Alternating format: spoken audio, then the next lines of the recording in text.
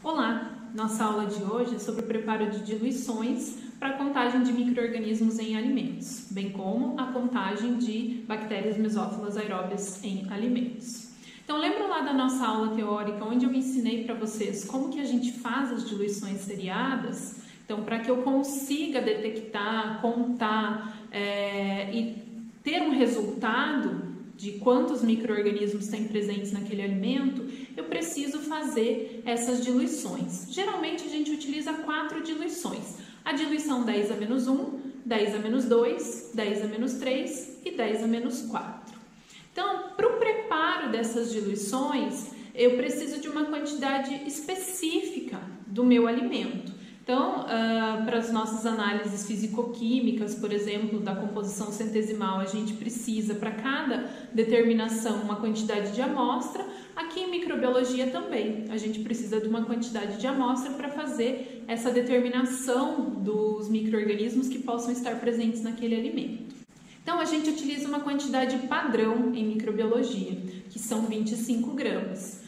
Uh, e a gente precisa diluir essa amostra inicialmente 10 vezes. Então, eu geralmente é, inicio a diluição da minha amostra em 10 vezes, a, a segunda diluição é 100 vezes, a terceira diluição é mil vezes e a quarta diluição é 10 mil vezes. Então, lá no final da preparação das minhas quatro diluições, eu vou ter diluído aquela quantidade de alimento que eu estou utilizando, que são 25 gramas, 10 mil vezes. Para quê? Para que eu possa fazer a contagem dos micro-organismos ali presentes. Imagina uma amostra de alimento que eu tenho uma contagem, que eu tenho uma contaminação por micro-organismos muito grande. Então, se eu parto de uma diluição só de 10 vezes, muitas vezes eu não vou conseguir contar quanto de microorganismo tem ali presente. Então eu preciso fazer essas diluições para que eu consiga contar a quantidade de microorganismos e consiga expressar um resultado, né?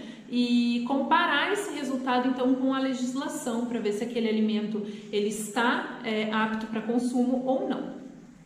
Uh, usualmente a gente utiliza essas quatro diluições, mas eu posso continuar essas diluições, eu posso seguir até quantas diluições forem necessárias, quanto, quantas diluições eu achar necessário. Então, eu posso fazer a diluição 10 a menos 5, 10 a menos 6. Usualmente, utiliza-se até 10 a menos 4. Aí eu já consigo né, expressar um resultado até a diluição 10 a menos 4.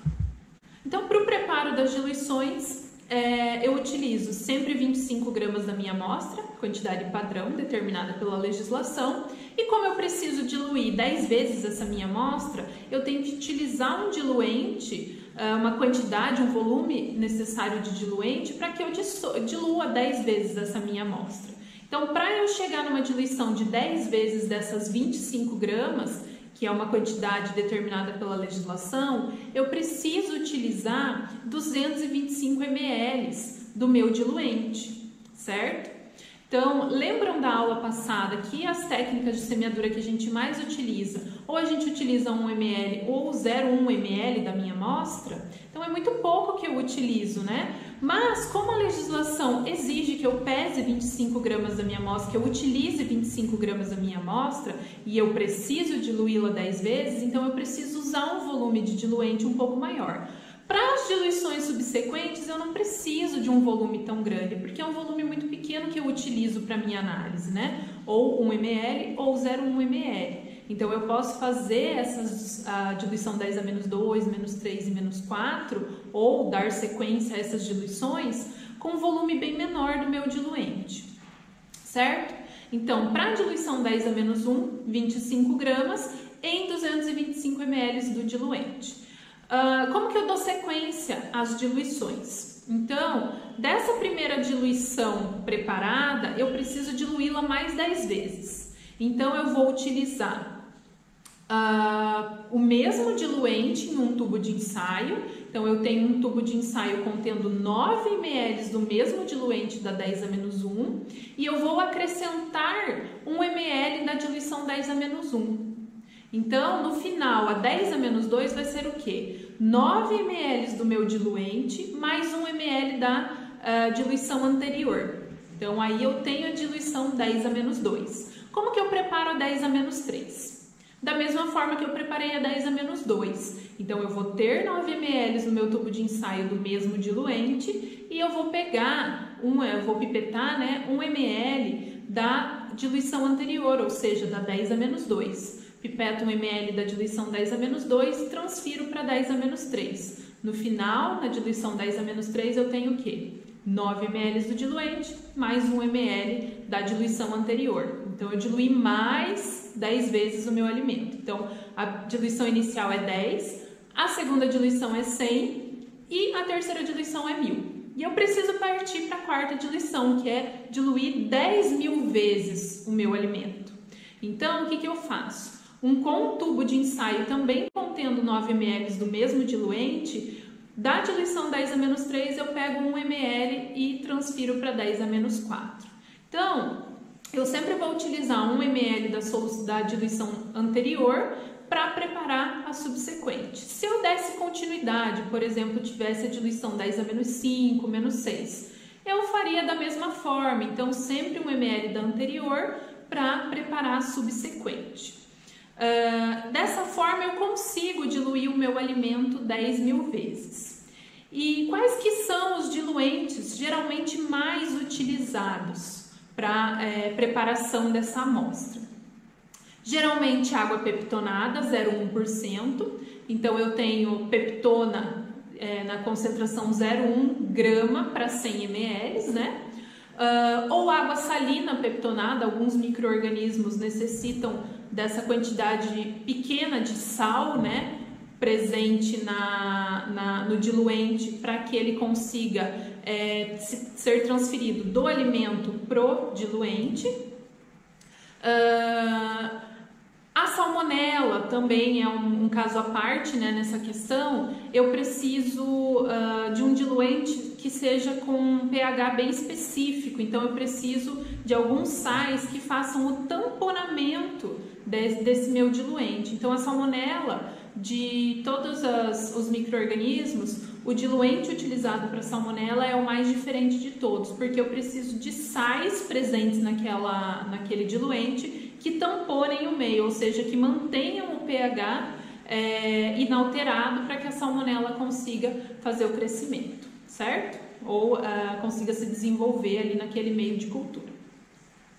É, então, dos diluentes, os mais utilizados, água peptonada 0,1%, água salina peptonada 0,1% e água, a, água destilada peptonada tamponada, que é para análise de salmonela. Então, esses são os diluentes mais utilizados. Então, são os que a gente vai utilizar ao longo de todas as aulas práticas, né, para determinação dos micro-organismos. Então, é dessa forma que a gente faz as diluições, diluindo sempre de 10 em 10 vezes. E uh, utilizo sempre até a diluição 10 a menos 4, né, que é o usual, que eu já consigo dar o resultado e comparar com a legislação, mas se uh, houver necessidade, eu posso sim dar continuidade a essas diluições. E sobre a contagem de bactérias mesófilas aeróbias. Então, qual que é o objetivo de a gente contar bactérias mesófilas aeróbias em um alimento? Uh, Geralmente as bactérias mesófilas aeróbias, elas são micro-organismos indicadores. Elas indicam, então, ah, muitas vezes a qualidade sanitária daquele alimento, ah, as condições em que foi preparado aquele alimento, que foi armazenado aquele alimento. Então elas dão condições, é, elas dão um panorama geral, né, de como está a contaminação daquele alimento. Eu não consigo especificar qual microorganismo que vai estar ali presente. Então eu estou contando todas as bactérias que cresçam na temperatura é, ótima de 35 a 37 graus Celsius, ou seja, mesófilas, e que necessitem da presença de oxigênio para crescimento. Então, eu não vou especificar uma um único tipo de microorganismo. Eu posso ter crescimento de vários. Por isso que a contagem de bactérias mesófilas aeróbias vai me dar uma condição geral desse alimento, condição de higiene geral desse alimento, como que ele foi preparado, como que ele está sendo armazenado, certo? Uh, ah, Para fazer a contagem de bactérias mesófilas aeróbias em alimentos, a gente utiliza a técnica de semeadura por plate. Lembram da técnica? Então a gente utiliza primeiro 1 ml do nosso inóculo e depois a gente verte o meio de cultura é, e dilui aquela amostra no meio de cultura. Então eu inicio a minha análise de bactérias mesófilas aeróbias com a preparação da minha amostra, com a preparação das diluições da minha amostra. Então eu recebo o alimento no meu laboratório, uh, vejo todas aquelas condições necessárias, se a embalagem chegou de forma adequada, se eu não tenho uh, contaminação externa naquela embalagem, né? Recebi o meu alimento, o que, que eu preciso fazer? Eu preciso diminuir a quantidade daquele alimento, ou seja, diminuir o tamanho daquele alimento. Pensem uh, que pode ter chegado ao nosso laboratório um pão francês. Então eu preciso cortar esse pão é, em partículas menores, né? Para que eu possa fazer a pesagem daquela quantidade necessária para minha análise, que são 25 gramas. Então, primeiro de tudo, eu, eu preparo a minha amostra. Então, eu higienizo a embalagem, né, que veio aquela amostra com álcool 70. Uh, ah, eu utilizo sempre material estéreo, né, para mexer com essa amostra, para que eu não tenha contaminação externa a, da minha análise, né, não tenha contaminação de nenhum outro utensílio da minha análise. É, e vou garantir então que o resultado vai ser realmente o que tem de microorganismo naquele alimento, certo? Então, a primeira coisa, diminuir o tamanho da minha amostra. Diminuí, cortei ela, piquei ela pequenininha. Uh, o que, que eu faço? Agora eu peso as 25 gramas. Então, geralmente essas 25 gramas elas são pesadas em um saco é, específico, um saco plástico específico, que vai direto para o homogeneizador é, chamado né, de Stomaker. Então, esses sacos eles vêm previamente estéreis de fábrica Uh, eu faço a pesagem da minha amostra dentro desse saco e já faço a primeira diluição dentro desse saquinho mesmo. Uh, então, lembram quando, como que eu faço a primeira diluição? 25 gramas de amostra mais 225 ml do diluente. No caso de bactérias mesófilas aeróbias, o diluente utilizado é água peptonada 0,1%. Então, é essa, esse é o diluente que a gente vai utilizar para todas as diluições. Então, pesei a minha amostra, Adicionei os 225 ml de água peptonada 0,1%, eu uh, fecho esse saco né, com, uma, com auxílio de uma fita crepe e levo para o homogenizador Stomaker. Então, o homogenizador Stomaker, como vocês podem ver na foto, ele, é, uh, ele simula né, os movimentos que os movimentos peristálticos né, que ocorreriam então no nosso organismo. Ele tem duas pás, né? Essas pás elas se mexem para frente e para trás, é, mimetizando, né? Ou seja, é, imitando os movimentos que aquele alimento passaria no nosso organismo. Porque a gente precisa uh, liberar, né? Transferir o microorganismo que está no alimento para aquela água uh, para aquele diluente, porque é o diluente que a gente utiliza para fazer análise, né? Então eu vou pipetar a quantidade de diluente, então eu preciso transferir o microorganismo que possa estar presente no meu alimento para o meu diluente. Então essa homogeneização da amostra serve para isso, para que eu consiga transferir os microorganismos que possam estar presentes no meu alimento para o diluente. Uh, quanto tempo o, a minha amostra, né, juntamente com o diluente, fica nesse homogeneizador? Durante 2 minutos e 30. Então, 2 minutos e meio eu deixo esse, essa amostra homogeneizando.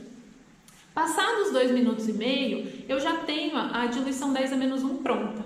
Tendo a diluição 10 a menos 1, posso seguir para as outras. Então, pipeto 1 ml e transfiro para um outro tubo de ensaio contendo 9 ml do diluente é a diluição 10 a menos 2, e assim eu vou fazer da mesma forma para 10 a menos 3 e para 10 a menos 4. Feito ah, as diluições, agora eu preciso plaquear esse, esse, esse, essa amostra, né, para fazer a contagem das bactérias mesófilas aeróbias.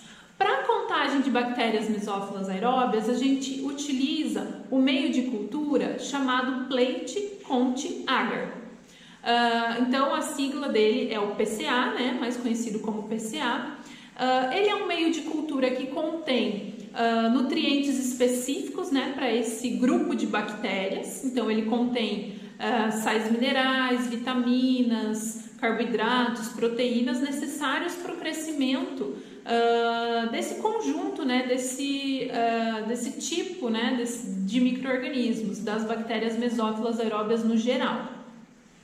Então, uh, a gente precisa do PCA e como a gente utiliza a técnica por plate, a gente primeiro vai colocar a amostra dentro da placa e depois vai verter o meio já liquefeito. Então, preparada a nossa diluição, o agar já está liquefeito, uh, a gente segue a análise. Então, as placas já estão identificadas, o que, que eu vou fazer? Eu pipeto 1 ml da minha amostra em cada uma da, de cada uma das diluições em cada uma das placas correspondentes. Então, eu tenho quatro diluições, eu terei quatro placas de Petri correspondentes à diluição 10 a menos 1, menos 2, menos 3 e menos 4, certo? Pipeto 1 ml da diluição correspondente em cada uma das placas, verto o meio faço a homogeneização, então como que eu faço a homogeneização na técnica por plate? Cinco movimentos circulares horários, cinco movimentos circulares anti-horário ou uh, cinco movimentos em, em formato de oito, certo? Então eu tenho que fazer verto meio, já faço a homogeneização, porque se eu esperar, ele pode já solidificar e eu não homogeneizar aquela minha amostra, certo? Então eu tenho que verter o meio e já fazer a homogeneização. Então, feita todas as diluições e o meio de cultura solidificado, a gente vai levar então esses micro-organismos para incubação. Então, qual que é o tempo e a temperatura utilizada para determinação para contagem das bactérias mesófilas aeróbias? Então, o próprio nome da análise já diz, né? Bactérias mesófilas. Uh, então, a temperatura ideal seria entre 35 e 37 graus Celsius e o tempo entre 24 e 48 horas. Então, como que eu faço uh, essa contagem? Como que eu faço essa detecção, né? Com 24 horas eu levo para a estufa essas placas, com 24 horas eu verifico se tem crescimento de micro-organismos e eu já posso fazer a contagem. Se não tiver, eu deixo por mais 24 horas e transcorridas as 48 horas de análise, eu posso fazer a contagem dessas, do, dos micro-organismos que possam ter crescido ali também.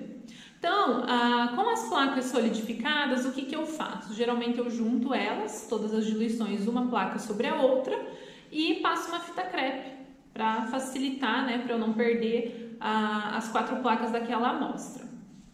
Para levar para a estufa, eu preciso inverter as placas. Para quê? Para que não forme, é, para que o vapor de água formado na tampa ele não caia sobre o, o meio de cultura e possa a, interferir né, na minha análise. Então eu inverto as placas e levo essas placas para a estufa.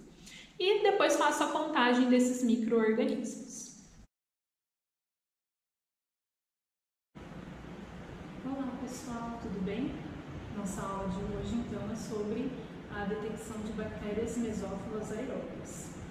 Ah, como eu já havia falado, a importância da, dessa detecção na aula teórica, vamos partir direto para a prática. Uh, hoje vocês vão aprender também como a gente faz o processo de diluição.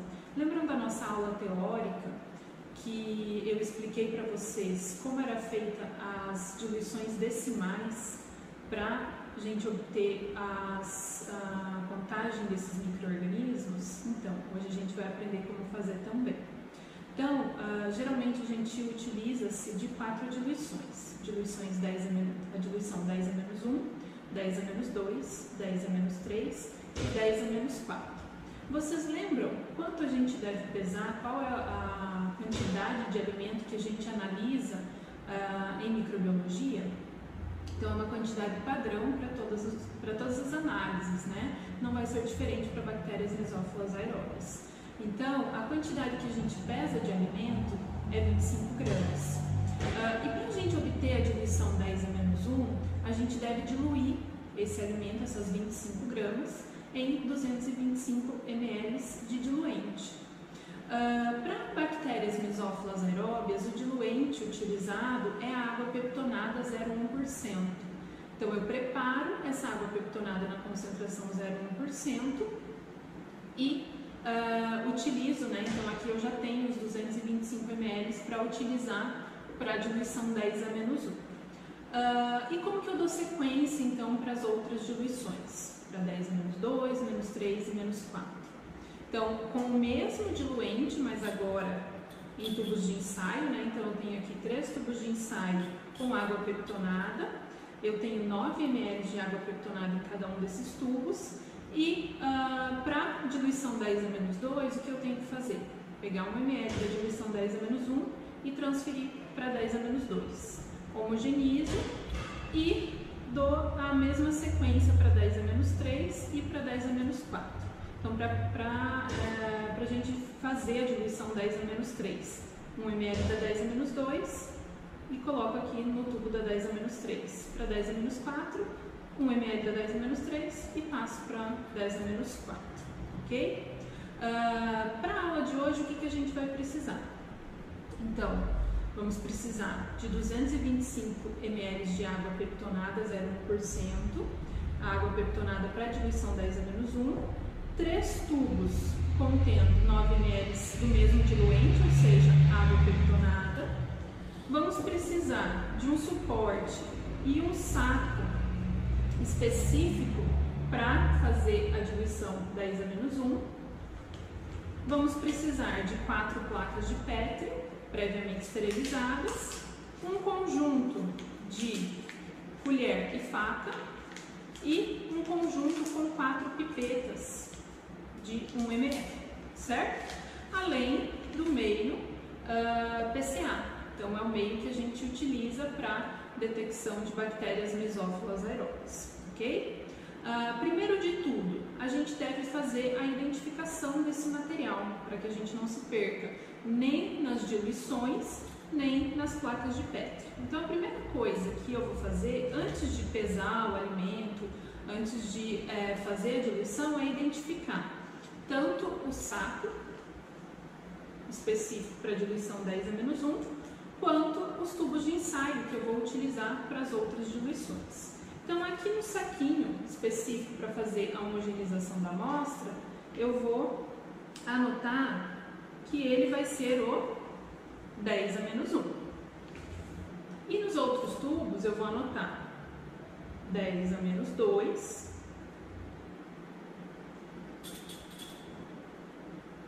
10 a menos 3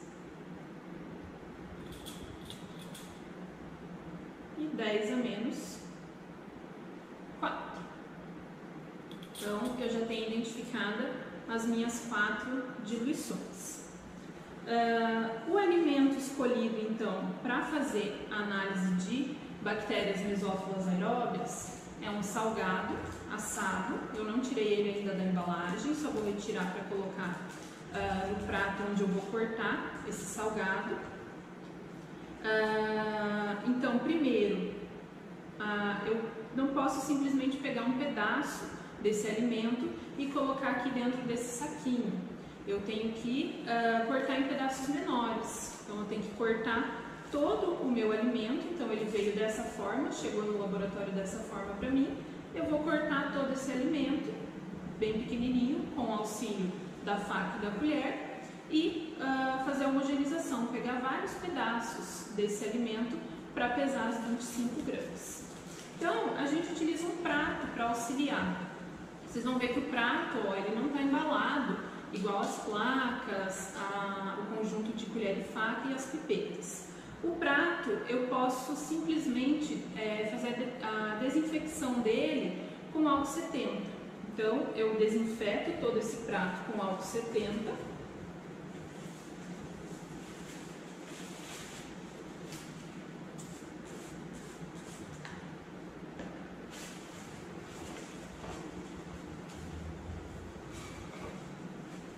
aí sim eu posso retirar o meu alimento da embalagem que ele chegou ao laboratório. Então, se a embalagem fosse uma embalagem plástica, é, um saquinho plástico, uma embalagem de vidro, enfim, uma lata, eu poderia fazer a higienização da minha embalagem também com álcool 70. Nesse caso, é um saquinho de papel. Então, o ideal é que eu não faça essa, essa desinfecção da embalagem, porque o papel é permeável, então eu posso é, passar álcool 70 para o próprio alimento. Então, eu vou cuidar para não entrar em contato com o alimento, a parte interna, e vou colocá-lo aqui no prato.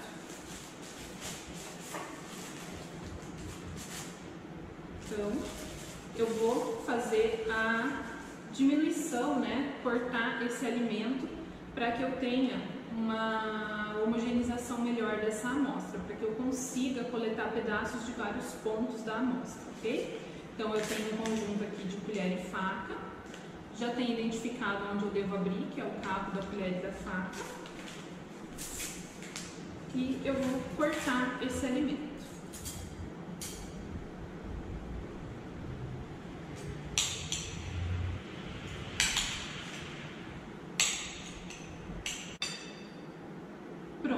já consegui deixar então o nosso alimento em tamanhos menores, que vai facilitar então que eu consiga é, pegar vários pedaços né, de diferentes pontos desse nosso, desse, dessa nossa amostra, certo?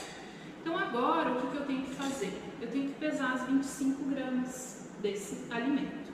Então esse saquinho aqui, ele é específico para ir no equipamento que faz a homogeneização das amostras. Então, por dentro, ele já está estéreo, né? então ele é um, um material que já vem é, previamente esterilizado de fábrica.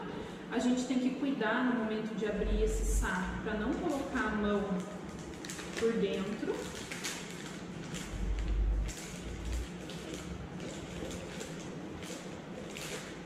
E esse conjunto aqui, então, de saco e suporte, eu vou levar para balança. Eu levo para balança e zero essa balança, então, para eu conseguir pesar as 25 gramas. Uma coisa bastante importante que eu já frisei na aula passada para vocês. É, é importante a gente não falar muito em cima da nossa análise, porque a gente sabe, a saliva pode carregar gotículas e nessas gotículas é, eu posso ter a presença de micro-organismos. Então, para evitar que contamine a minha amostra e a minha análise, a gente não deve falar com frequência sobre essa, essa amostra. Então, a balança já está zerada, agora eu vou é, pesar as 25 gramas. Eu vou pegando pedaços ah, bem aleatório para pesar essas 25 gramas.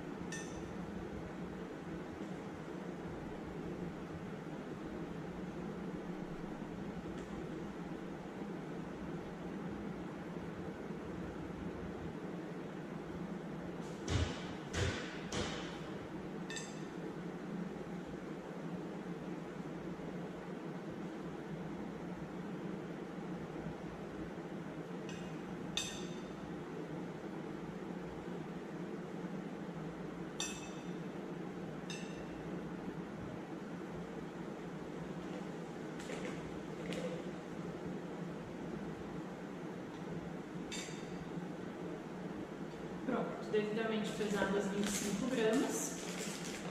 Esse, essa amostra eu posso descartar, então eu não posso mais utilizar para nenhuma outra análise, ok?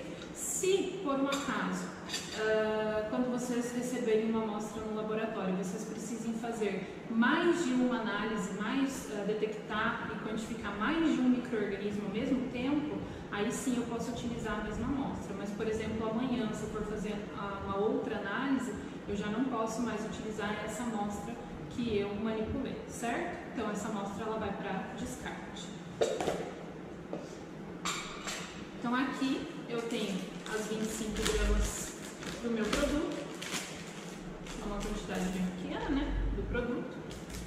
E agora eu vou verter os 225 ml de água peptonada que eu já tinha previamente preparado e esterilizado.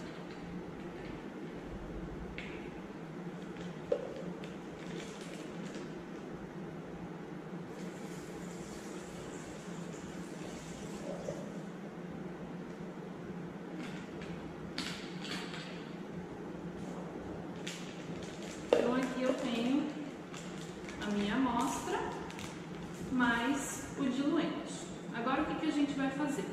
A gente tenta retirar o máximo de ar possível e vai colar com uma fita a parte superior do saquinho. Uma fita crepe normal mesmo.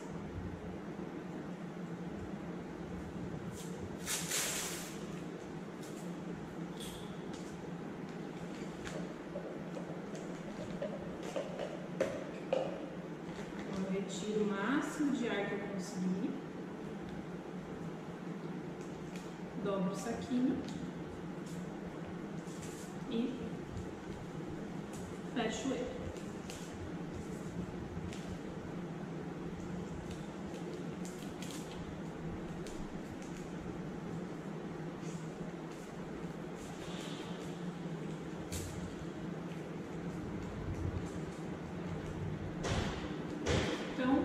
nossa diluição 10 a menos 1 está pronta para ir para homogeneização.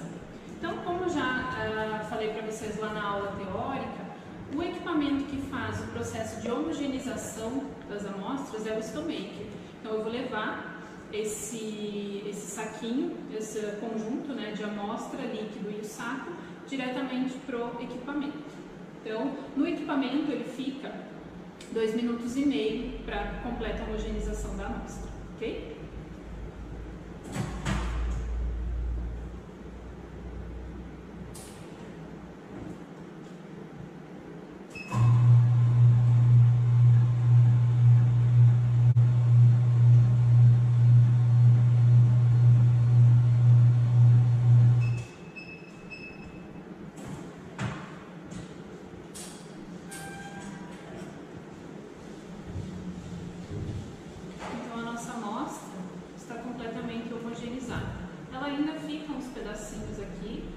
tem problema. Ela homogeneizou bem, a gente já consegue perceber que o diluente, né, a água peptonada, 0%, está bem turva, né? Então eu já tenho a, a migração de boa parte do que pode estar no alimento para água de diluição. Então agora eu coloco aqui no suporte e eu posso fazer então as diluições. Essa diluição aqui já está pronta, a 10 a menos 1, ok? Então, daqui eu parto para as diluições. 10 a menos 2, menos 3 e menos 4. Uh, ah, o nosso agar, o PCA, ele já está liquefeito, está no banho-maria. Eu vou retirar ele do banho-maria para ele já ir chegando a temperatura de 50 e 55 graus Celsius. Por quê? Porque a gente utiliza nessa prática a técnica por plate. Então, a, o meio de cultura é vertido sobre o inóculo. Então eu tenho que uh, garantir a temperatura desse meio de cultura, que ele não esteja muito quente, certo? Então eu vou retirar aqui e vou deixar sobre a bancada.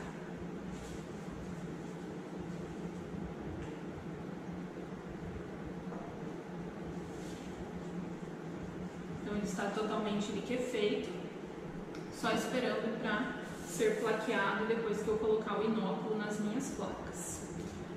É, agora, antes de fazer as diluições, eu vou identificar as minhas placas de Petri. Então, uh, como eu já havia ensinado na aula anterior, nesse caso, a gente tem diluições para serem é, anotadas nessas placas. Então, a gente vai fazer uma placa para cada uma das diluições. Uma placa para diluição 10 a menos 1, uma para 10 a menos 2, uma para 10 a menos 3 e uma para 10 a menos 4. Então, o que, que a gente deve anotar nessas placas? A diluição correspondente, ou seja, 10 a menos 1, qual o meio de cultura que eu estou utilizando, a sigla dele, PCA, e a data da análise. Então, é isso que eu vou identificar nas placas.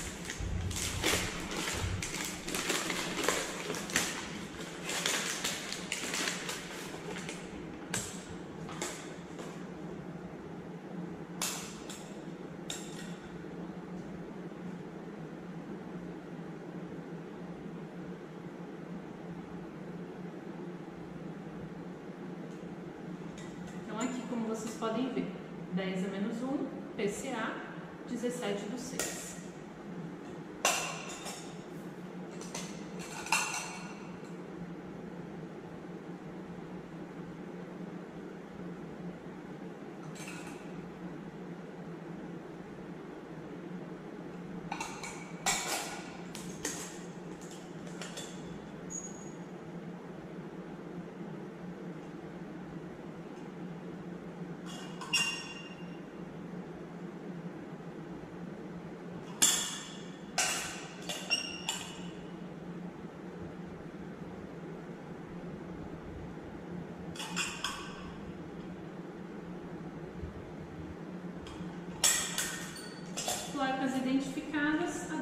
partir para diluição.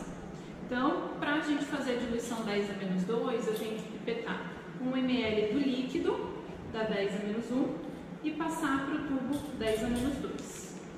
Eu vou abrir aqui a, o saquinho e vou fazer as diluições.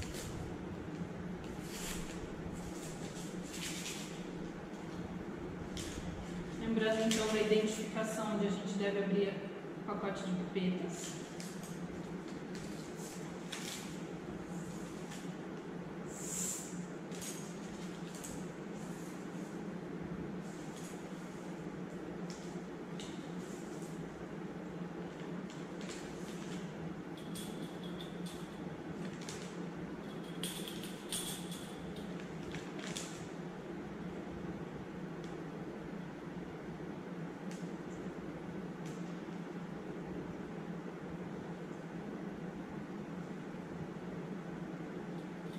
pipeto 1 ml e transfiro para 10 a menos 2.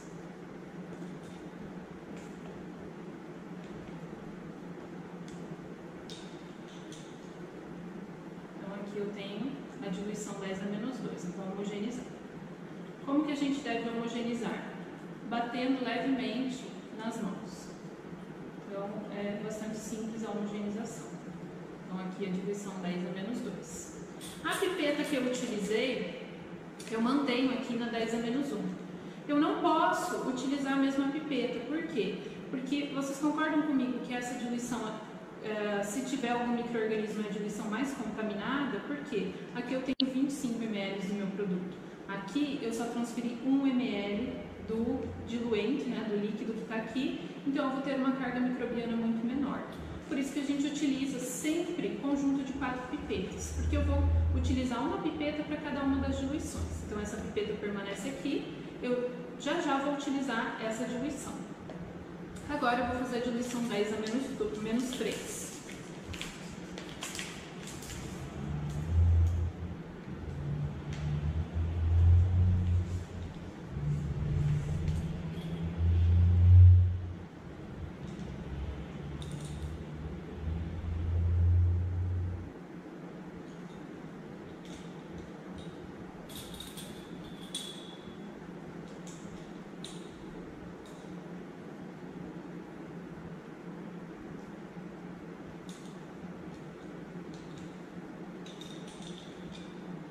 E a pipeta eu sempre volto para a diluição inicial que eu utilizei ela. Nesse caso aqui eu utilizei ela na 10 a menos 2. Ela volta para 10 a menos 2.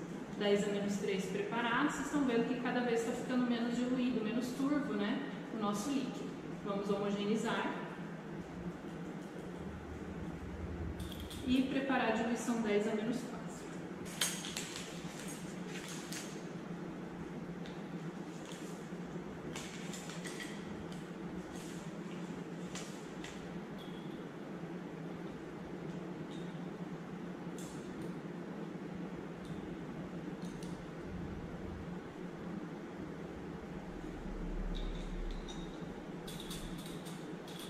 Sempre que for inverter o líquido na é, diluição subsequente, cuidem para não encostar a pipeta no líquido, ok? Então, ó, eu não encostei a pipeta no líquido, só soltei o líquido.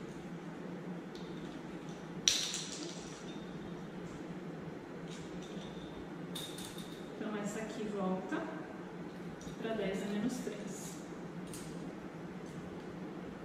E por último, eu tenho uma pipetinha aqui sobrando dentro do, do pacote e ela vai ser a da 10 a menos 4, mas antes eu tenho que homogeneizar também a minha diluição, ok? Homogeneizada, eu posso colocar a pipeta aqui. Cuidem no momento em que vocês forem colocar a pipeta dentro do tubo de ensaio, não soltem com força, porque pode quebrar o fundo do tubo ok? Então, preparadas as nossas diluições. Então, aqui eu tenho a 10 a menos 1, 10 a menos 2, 10 a menos 3 e 10 a menos 4. Agora, o que, que eu vou fazer? Eu vou uh, plaquear esse nó. Então a gente utiliza a técnica por plate, onde o inóculo vai antes, depois eu verto o meio de cultura, certo? Então o que, que eu vou fazer? Eu vou organizar as minhas placas uh, com as diluições. Ó. Então a diluição 10 a menos 1, diluição 10 a menos 2, 10 a menos 3 e 10 a menos 4. Agora eu vou pipetar, vocês lembram quanto? 1 ml, né? Então a gente pipeta 1 ml da diluição correspondente em cada uma das plaquinhas. Então na 10 a menos 1 eu vou pipetar 1 ml da 10 a menos 1. Então vamos lá.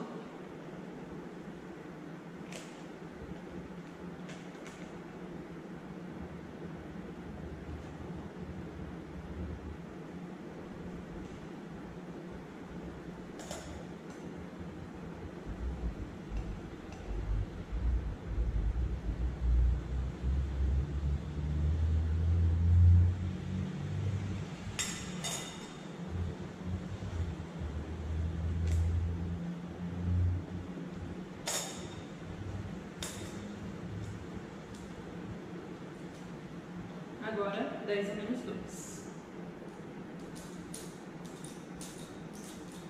Atentem-se sempre também ao volume das pipetas. Todas essas que eu estou utilizando são de 1 ml. Se forem de 2 ml, tomem cuidado no momento em que vocês forem fazer a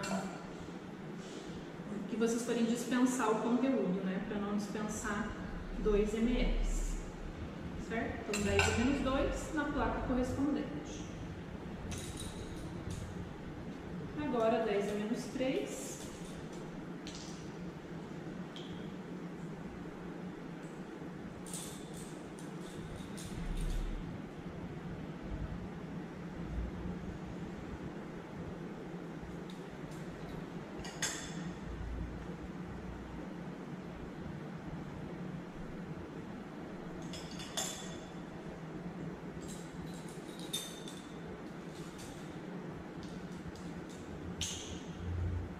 e 10 a menos 4.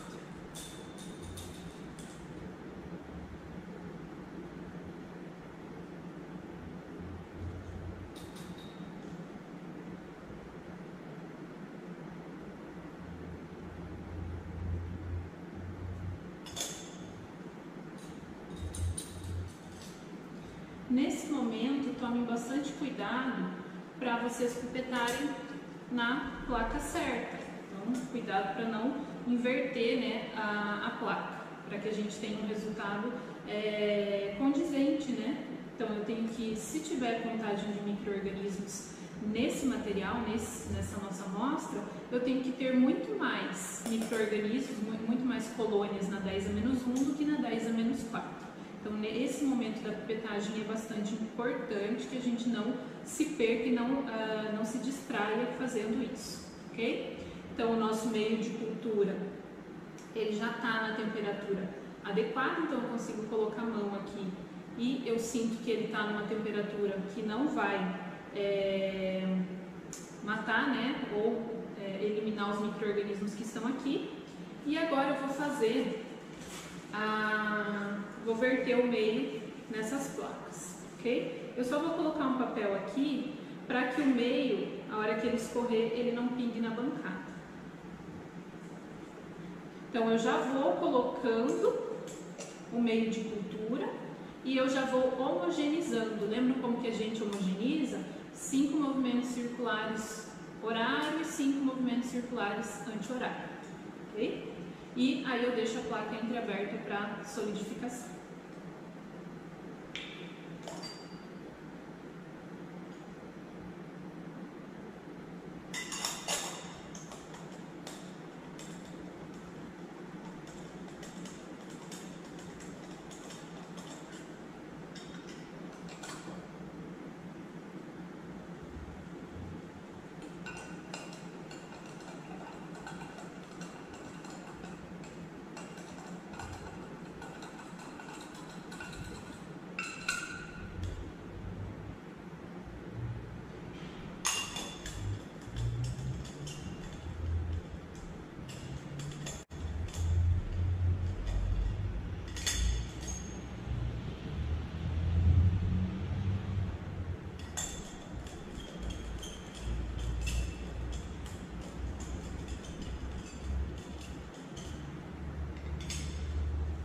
Lembram da importância de preparar sempre a quantidade que a gente for utilizar para não desperdiçar meio de cultura? Ó, então, utilizei tudo que foi preparado, ok?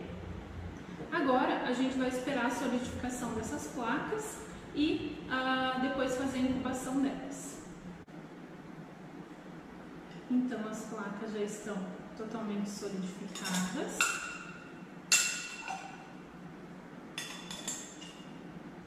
Posso tampar todas elas e eu vou organizar então agora para levar para a estufa. Então, eu coloco uma em cima da outra e passo uma fita crepe em volta.